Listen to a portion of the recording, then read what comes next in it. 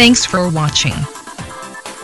Please subscribe and click on the bell to turn on notifications.